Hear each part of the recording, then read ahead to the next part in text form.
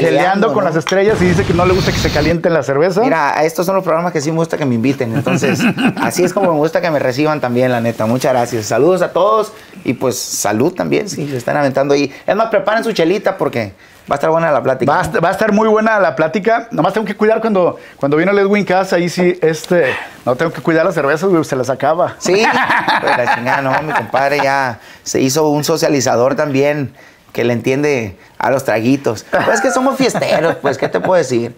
Somos de, de alma alegre.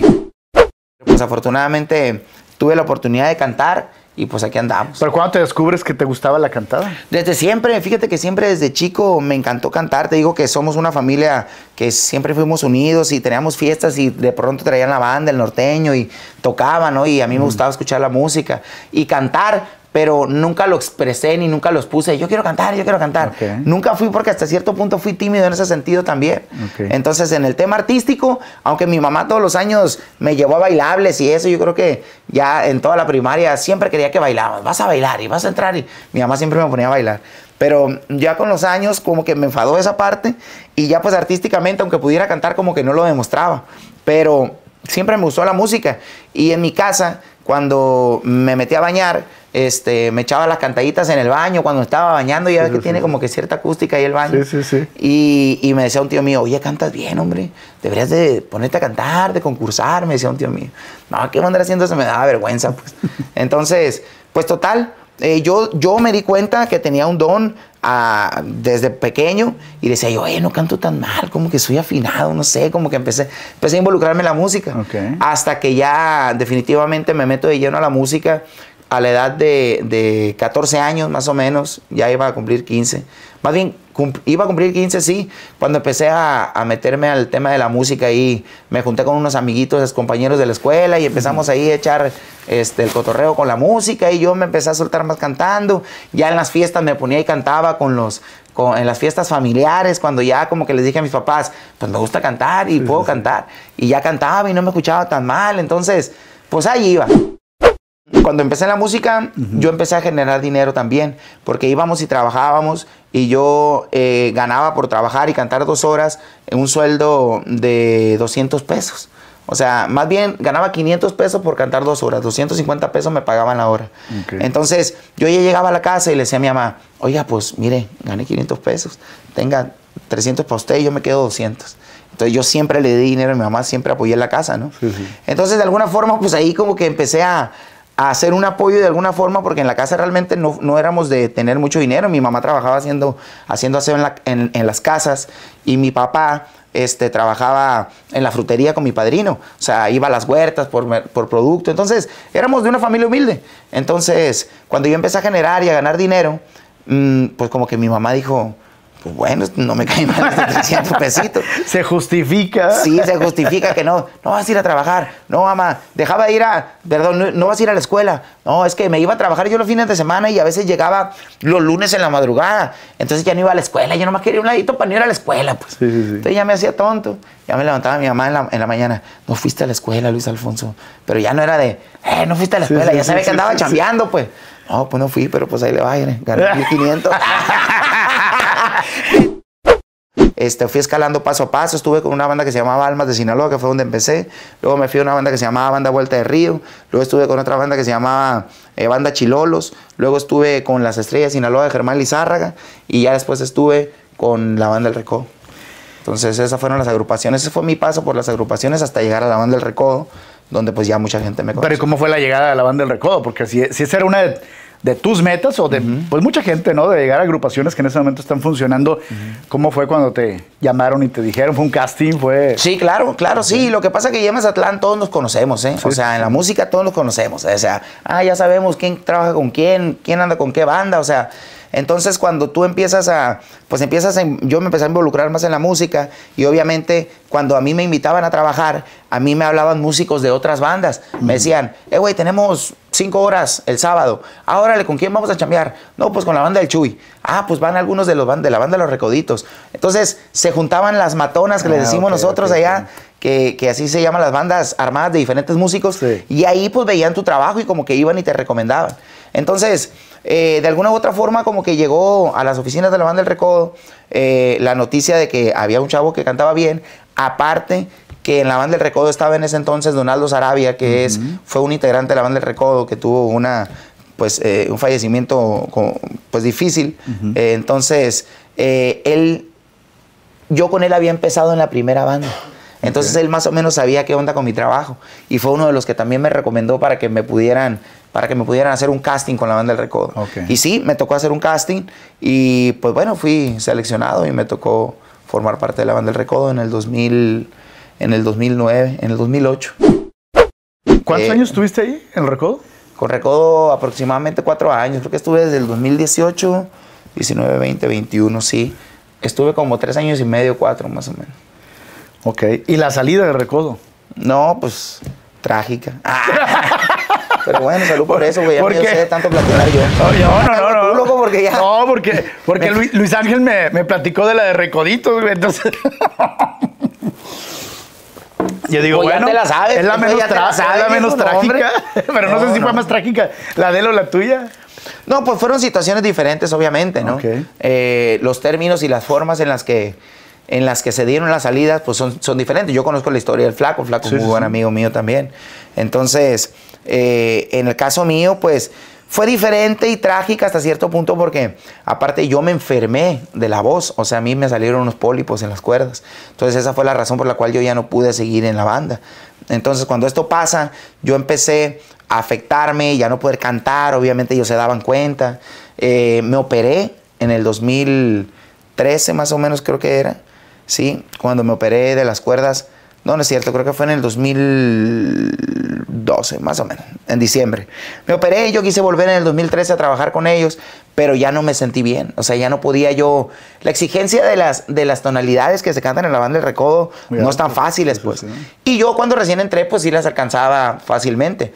Pero con el tema de lo que me pasó y con lo de la operación, como que mi rango eh, vocal bajó, entonces ya me costaba mucho trabajo y ya no podía y ya no podía con las canciones y me enroquecía bien rápido y, y empecé también a crear un conflicto personal y psicológico ahí. Entonces, pues no, había días en que llegaba, me sentía bien y cantaba la primera canción y me enroquecía y ya no podía cantar las demás. ¿Y qué te pasaba por la mente? No, era para mí frustrante, cabrón. No sé, imagínate yo subirte al escenario, estar ahí, no poder cantar y ya después no poder hacer nada. Cabrón, pues. Y la cara de Poncho así de. No, man, pues imagínate ellos así, con ganas de pegarme una patada y sácate de aquí, cabrón, ¿no? O sea, son cosas, situaciones difíciles hasta que yo llegué con Poncho y le dije, ¿sabe qué? Oiga, la neta yo no puedo con esto y yo ya no sé si me voy a poder sentir bien. O sea, la neta, yo, por lo sano, prefiero mejor irme. Entonces, pues sí, ellos platicaron, obviamente se daban cuenta de cómo estaba la situación conmigo. Y pues nada, aceptaron mi, mi salida y, me fui de la banda del recodo. Ahora, y en ese entonces a mí realmente me operó uno de los mejores. Es un doctor japonés que está ahí, se llama Masao Kume. El doctor está en la Ciudad de México. Él fue el que me operó y en ese entonces quien me lo recomendó fue Margarita, la diosa de la cumbia, que ya también la habían operado a ella anteriormente. Entonces me dijo, él está perfecto, porque claro que había historias de gente que las operaban y ya no quedaban bien y no habían quedado bien.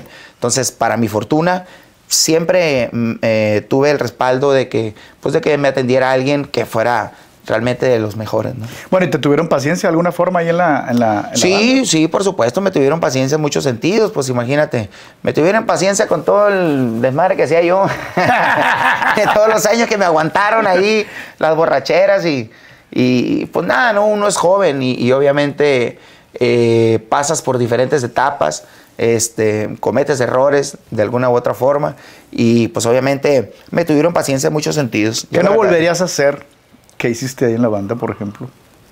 Ah, pues mira, te diré que he hecho todo. de todo. te diré que lo he vuelto a hacer todo, pero sin embargo creo que ahora sí ya por lo menos trato de proteger esta parte, pues. Okay. O sea, sigo siendo igual de desmadroso, sigo siendo igual de... De todo. todo, o sea hasta más, o sea, yo creo, ¿no? Pero sí aprendí que obviamente tenía que cuidarme de alguna otra forma. Y si voy y me pongo una borrachera un día, pues al siguiente día no salgo y no ando cantando y no ando este, haciendo otras cosas que no deba para no afectarme más allá. ¿Me explico? Entonces, pero pues sí, aprendí a que tengo que cuidarme un poco más porque yo busqué el éxito mediante ser un cantante de una agrupación. O sea, al final del día yo desde que trabajé y desde que me dije, quiero llegar a ser uno de los cantantes más famosos o quiero llegar a estar en una de las agrupaciones más importantes, era porque yo quería llegar a sobresalir y ser alguien al final del día. Hice lo que en mis manos y en mis medios estuvo, tomé las decisiones, trabajé, hice lo que tuve que hacer para llegar a ese punto. Cualquier persona que se ponga algo, una meta hoy en día, un artista nuevo que quiera, tengo que ser el mejor, se va a concentrar y va a trabajar y le va a echar ganas hasta lograr eso, haga lo que tenga que hacer. Entonces yo creo que al final del día es lo mismo, ¿no? Trabajar y, o sea, es lo mismo eh, para mí el, lograr un éxito, O sea, por el mismo trabajo te va a costar, aunque tú seas solista o, o estés en una agrupación, porque igual a la banda del Recodo han estado cantantes que no funcionaron como funcionó el Mimoso, como funcionó Carlos Arabia, como funcionó Julio Preciado, ¿no? O sea, como funcionó el Jackie.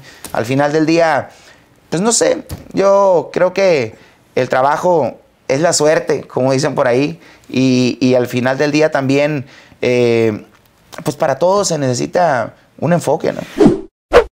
Afortunadamente para mí, como yo a veces se los digo a mis músicos y, a todas las personas que, trabajan conmigo, yo he estado en el puesto de cada uno de ustedes, cabrón. ¿Sí me explico? O sea, la realidad es que yo también he sido un soldado raso, güey. O sea, yo también he formado parte de una agrupación. yo también sé lo que es dormir en el camión y lo que es andar en las giras para arriba y para abajo, cabrón, y llegar y estás solo y hoy no te pagan completo y, o sea, yo también lo viví, ¿no? Entonces, eh, hoy por hoy, realmente nosotros procuramos cuidar mucho toda esa parte, o sea, de tratar bien a la gente, obviamente, y como compañía, pues también entender que seguimos aprendiendo y que nos faltan muchísimas cosas por crecer y muchísimas cosas por aprender, porque la realidad es que no es fácil ser un, un artista independiente y sobre todo menos un artista independiente que va taloneando, queriendo poner una compañía, eh, darle un lugar a una compañía, ir a pelearte con todos los lobos allá afuera y echarte madrazos con todos. O sea, porque te toca, pues, ¿me explico? O sea, quieres defender tu arte, quieres defender tu postura, tu trabajo, métele, cabrón, y jálate a, competir contra todos los demás, ¿no? Aunque los astros yo creo que se, te han alineado, ¿no? Últimamente yo, yo pienso, te veo, te vimos en el programa de televisión, tengo talento, mucho talento de pronto te vemos con Firme, de pronto con Gerardo Díaz, o sea, yo creo que ah, te has rodeado o, eh, con la gente que de alguna forma eh, está funcionando y en proyectos donde, donde la gente está al pendiente de estos proyectos y, que no a cualquiera se le da, pues. Sabes que yo creo, como dicen por ahí, a mí mucha gente me dice a veces, oye, ¿y tú que cantas, porque mi mamá no canta, ni mi papá canta, ni en mi familia, mi abuela canta, y mi otra, mis abuelas cantan, pero no les gusta cantar mucho, pero son afinadas, pues entonadas, yo las escucho, ah, digo, ¿de dónde traía el don? Porque más en mi familia, no, no muchos, no vengo de familia de cantantes, pues, ¿sabes cómo? Entonces, de músicos sí, pero no de cantantes como tal. Entonces, bueno, yo a veces digo realmente que a mí eh, Dios me regaló este don porque pues gracias a Dios tengo una buena familia, mis padres ah, como pudieron me dieron las posibilidades de salir adelante y siempre me han de alguna u otra forma apoyado. Entonces yo siempre agradezco mucho las cosas a Dios porque lo que yo he aprendido, lo que yo sé, pues no viene de un estudio, realmente viene de la vida misma, ¿sabes cómo? O sea, el arriesgarse uno en estos tiempos a tener una propia compañía, a ser un, artista eh, solista y abrirte tu propio camino, o a, a ponerte Mm, metas y lograrlas sin que nadie te diga por dónde, sin que lo hayas visto en algún lado. O sea, eso es cosa divina, güey. ¿Sabes cómo? o sea, a mí quién me dio la capacidad para pensar y arriesgarme y decir, voy para allá, vamos para allá. Simón, o sea, ¿sabes cómo? O sea, Dios, cabrón, ¿sabes cómo? O sea, entonces, al final a lo que me refiero yo es que trato siempre de, de, de, de ser como soy y creo que eso también la gente lo, o sea, lo capta. Y cuando uno es natural, creo que las cosas se te dan, pues, ¿sabes? O sea, tengo amigos y como bien lo comentas tú, todos los que mencionaste, realmente, eh, pues por algo se me ha dado la química, a lo mejor con mi compadre Edwin, por ejemplo, que somos buenos amigos, o sea, nos hemos seguido realmente, o sea, la semana pasada lo acabo de ver, vamos y comemos, y no tengo que andar subiendo las historias de canto con él todo el día, porque hay un cariño sincero, ¿sabes? Somos compadres, cabrón, ¿sabes? Entonces, eh, así mismo, con todos mis compañeros del género, eh, creo que tenemos una buena química y eso es algo que la gente nota y siento también que por esa razón, eh, pues la gente está conmigo, ¿no? Como ahora que viene el Jackie Fest, que ahorita la gente ya está de, eh, ¿qué onda, compa? Yo jalo con usted, yo voy. Entonces, son muchas cosas, ¿no? A lo que voy es que, para mi fortuna, he sabido rodearme de, de gente que realmente me tiene un cariño y también, pues yo también eh, creo que he sabido corresponder a todos los que me rodean. Desde el 2018, como a mediados, y empezamos a trabajar duro, duro, duro. Este, me empecé a meter en el tema de las redes, cómo estaban las redes sociales, empecé a ir a grabar con varios amigos, que, el Servando ZL, empecé, empecé a moverme, a moverme, a moverme. Con lo que trabajaba, de eso mismo generaba, pagaba para, para hacerme videos, producciones, empecé, empecé, empecé a concentrarme en la música, a buscar, a trabajar para ese éxito. Y llegó la canción de Lo Más Este Rey, un día, por las redes, cabrón. Si te di lo mejor, se hizo viral, la grabé, pum, la saqué, pum, me dio, me dio la entrada a, a los Estados Unidos. ¿Y le hayas, te gustan las redes sociales? No soy tan fan, soy, soy una papa, la neta. O sea, soy una papa porque yo solo, ahí es que no sé ni me, ni me sé editar un video, güey. La neta no, soy bien malo hasta con el tema de los filtros y soy, bien, soy bien pésimo, güey, la neta. O sea, pero eh, para el tema del trabajo, pues en ese momento hice lo que tenía que hacer y después he reclutado gente que me vaya también enseñando y apoyando en esa parte. Pues que te tienes que ir haciendo de tu gente. Al final no puedes hacer todo el trabajo tú, pero también encontrar gente en el camino, gente de tu equipo eh, eh, no es tan fácil confiar en, la, gente, ¿no? Es un proceso. Yo inclusive en estos años que tengo de solista, bueno, tengo años de solista más, pero ya ahora con, de manera independiente con mi propia compañía, que te comentaba del 2018 a la fecha, pues ya son 19, 20, 21, 22, ya son cuatro años, donde hemos aprendido, hemos cambiado de equipos, hemos cambiado obviamente. Eh, yo empecé con un, en una sociedad con otra persona, cuando ya vine a Estados Unidos, me di cuenta que no nos caminaba del mismo de, la misma forma. Dije, no, cabrón, pues aquí estoy trabajando más yo que él, ¿no? O sea, pues yo también yo la hago mejor, ¿no? O sea, yo, yo hago la... Entonces, te vas dando cuenta de cosas nuevas, vas aprendiendo más y ahorita estamos en un punto donde queremos dar otro paso más allá pero también nos damos cuenta que necesitamos ajustarnos más y necesitamos aprender más. Entonces, pero ya estás más involucrado. Pero ahí vamos. ya, ya no estás en el automático, ya no estás esperando que alguien haga la chamba, o por lo menos a lo mejor supervisándola, ¿no? O sea, sí, sí, no, no, y, creo que definitivamente hay que volver a regresar al sistema donde, a ver, cabrón, pilas, o sea, entérate de todo, ¿no? Métele a todo y échale ganas como está el tema ahí. Esto en lo profesional, pero entonces en toda la parte sentimental de los últimos años, ¿ha habido tiempo para la parte sentimental? ¿Está bien en esa parte mm, sentimental? Sí, porque yo, yo nunca he sido un hombre solitario. O sea, yo soy. Yo soy un chavalo, un chaval. ¿Que, te guste que te apapache? Sí, sí, a mí no me gusta estar solo. Yo nunca estoy solo, aunque independientemente de que tenga una relación formal o no. O sea, pues realmente me gusta mucho la compañía, me gusta dormir calientito. Oye, hubo gente que me dijo que cuando te tuviera te lo que tenía que preguntar y te lo tengo que preguntar. ¿Qué te hiciste en el cabello? Ah, fue un injerto capilar. Ok. Sí, un injerto capilar. De hecho, eh, me puse cabello de acá de la parte de atrás, te quitan y ya te lo ponen. Y sí te funcionó. O sea, yo te veo muy bien, pero sí. sí. sí, porque no toda la gente le agarra, no toda la gente le funciona. Pues para mi fortuna parece que sí, porque la verdad es que sí se me nota mucho mejor a como estaba antes. Realmente ya se me notaban un chingo las entradas, que no sé, decían ahí los plebes, ya se me estaba viendo el chicle a la paleta. Eh, Mira, pero te voy a dar la solución. Cuando ya no haya este tatuaje, esto que yo traigo aquí. Iba a hacerme eso también yo. De hecho, ya estaba yo, eh, ya había investigado de si me hacía pues el, tatuaje capilar. Este, pero en eso ya me animé, me animaron porque varios compañeros ahí se hicieron y dije, bueno, pues va, un señor muy buen amigo mío, de hecho es el arreglista de la banda del Recodo, es don Martín Castro. Él fue el que me dijo, mira morro, esto veo, yo me puse ya, ah, caramba, le digo, pues sí se le ve bachi, le dije. Y no, mira, en un mes te va a salir el pelo, me dijo, no, en tres meses sale el cabello. Pero yo la pensaba por decir, chale, me voy a quedar pelón, loco, un rato, y cómo me va a ver. Pero bueno, eso fue lo de menos. Ya después me puse sombrero y anduve con sombrero todos estos, todos estos meses. Pero ya ahorita ya creció el cabello y la verdad, un buen resultado. Me no, sí, muy te, bien. sí te pegó. Sí, te, pegó bien.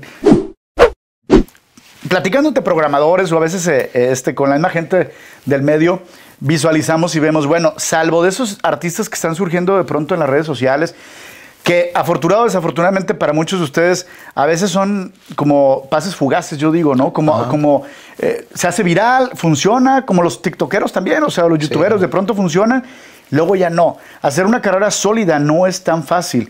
Y de los que cuando yo he platicado, ¿A quién se le ve esa oportunidad? Porque ya no ves así grupos como precisamente instituciones como un Recodo, Arrolladora Tigres. O sea, ya no casi no lo ves. O sea, eh, sales a la plática tú, el Jackie. Yo digo, órale, no tenía el gusto de platicar o de tener la plática. Ahora entiendo porque me lo han dicho, porque creo que eh, vas con una meta o vas, vas con metas. Que si algo no funciona, que como todas las personas, algo, Claro. pues se le brinca, güey, y la que sigue, ¿no? Claro. Pero, ¿hacia dónde, cómo le gustaría verse dentro de algunos años el Jackie? Pues mira, hermano, la verdad es que, eh, como todo te digo, en lo personal, en los años de mi carrera he pasado por diferentes evoluciones. Y hoy por hoy, a mis 32 años y en el punto en el que me encuentro en mi vida, sí, te soy honesto, eh, hay muchas cosas de la música hoy por hoy que a mí me han sorprendido. Eh, hay muchas cosas también en las cuales digo, carajo, sí está pesado, cabrón, ¿no? O sea, hay días que sí digo, "Ih, otra vez hacer esto, híjole, cabrón". como que medio, a veces, como que medio me quiero, pero entonces, como que me quiero debilitar. Y ya digo a mí, ok, mijo, y si no haces esto, chiquitito lindo, ¿qué otra cosa vas a hacer? ¿No? Así te das tus palmadas, ver, ya, déjate de chingaderas, porque aparte, o sea, soy objetivo y soy honesto conmigo mismo, ¿no?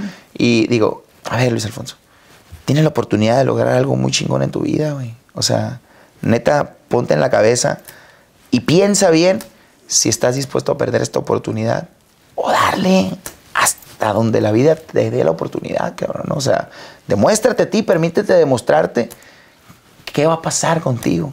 ¿Quién va a ser Luis Alfonso del Jackie? Porque ahorita hay un Jackie que, ok, anda trabajando, la gente habla de él, ahí está, ¿no?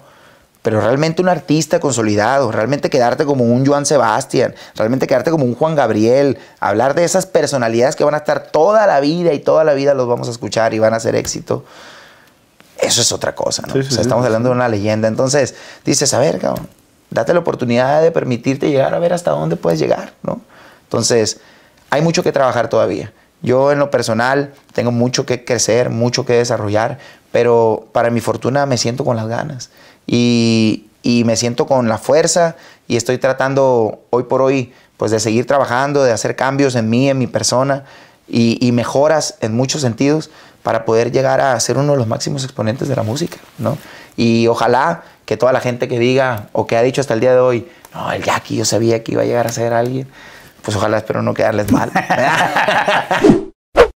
y me encanta la música de banda, pero también me he dado la oportunidad de ponerle algunos toques diferentes a mi estilo. Como me encanta la música pop, le metí piano y guitarra eléctrica, cabrón. Entonces he cantado canciones que ya eh, incluyo la guitarra eléctrica y el piano y hago una mezcla donde también agre- a- a- agrego a los fuertes de la música, por lo menos en baladas, también el apoyo de la guitarra eléctrica y la, entonces ya le damos un toque diferente, ¿no? O sea, o más bien unas pinceladas extra. Lo que es la música tradicional de banda me encanta y me gustan las canciones instrumentales, pero en mis canciones y en mi estilo he estado incluyendo esos instrumentos poco a poco, que al final también el acordeón y el bajo sexto, que también me gusta mucho la música norteña. Entonces, todos los géneros que me gustan, estoy tratando de, de juntarlos con la banda para hacer un estilo propio del Jackie, que la gente cuando escucha el Jackie digan, ah, es el Jackie, ¿sabes cómo? No, Con y, ese toque. y se, se ve que te emocionas. No, sí, no. De lo que me que gusta, me gusta. La neta sí, me gusta, te digo.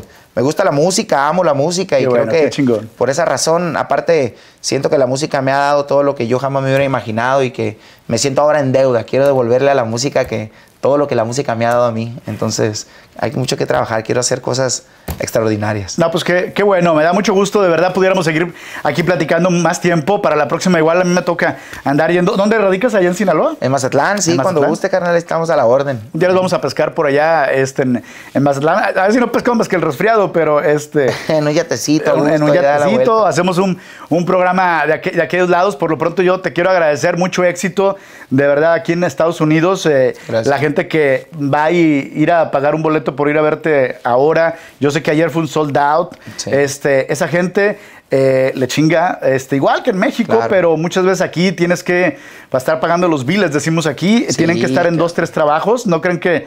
Sí, hay muchos que de repente se iban y llegaban allá a México con sus camionetones, pero ustedes no saben que trabajaron tres trabajos diferentes Claro. o trabajaron en tres trabajos diferentes para comprarse esa, esa camioneta. Entonces la gente, la que está en la yarda, la que está en, en el restaurante, es la que paga los boletos por ir a verlos a ustedes aquí. Me da mucho gusto que traigan un pedacito de México aquí musicalmente hablando. Nos da mucho gusto que no se olviden de de, la gente de acá de México en Estados Unidos, ¿no? No, jamás, hermano. Pues yo creo que siempre eh, parte de lo orgulloso que se siente uno como artista de venir a Estados Unidos es justamente el hecho de que sabes que la gente mexicana va a estar ahí presente, porque uno viene a Estados Unidos para darle gusto a tu gente mexicana, ¿no? Ahora ya son latinos también, Ya, que también, ya sí. también Centro y Sudamérica. Salvador. Nicaragua, Colombia, Sí, Guatemala. Sí, ya la gente se, se ha hecho muy fanática de la banda y nos da, me da gusto a mí ver cómo nuestro género va creciendo. Por eso, en lugares como los de anoche, llegar cada fin de semana a, a ponerte en el escenario, pues es decirle gracias al público y regalarles, regalarles una noche, una noche especial. ¿No? Pues qué bueno, enhorabuena. Muchísimas gracias, mi estimado. Jackie al aquí en Cheleando con las Estrellas. Y por supuesto, si les eh, ha gustado esto, compártanlo y díganle que el Jackie aquí nos platicó, que no tienen que ir a otros lados, porque aquí nos platicó y si quieren saber más de su, de su, de su vida, vamos a hacer obviamente esa segunda parte después allá, en donde, pues, donde te mueves regularmente, donde. Sí, en donde, en donde se rompen las olas. ¿no? Allá se en rompen las olas, allá, quiere. por supuesto, tanta comida tan rica que se come allá en Mazatlán. Esto fue Cheleando con las Estrellas y pues salud, compadre. Muchas gracias. Pues, saludcita, compadre, para la chingada, vamos a ocupar un refil ya. Le digo, ¿quieres una chela? Y dice, nombre hasta dos o tres. Vámonos, esto fue Cheleando con las Estrellas. Gracias.